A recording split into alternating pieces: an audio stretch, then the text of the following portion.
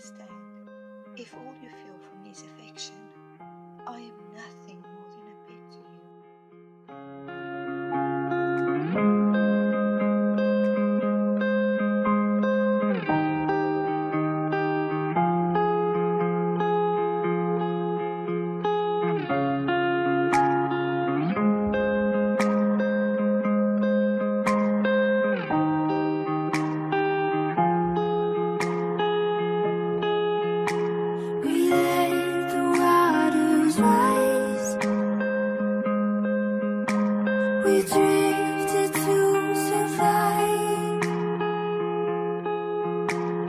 need.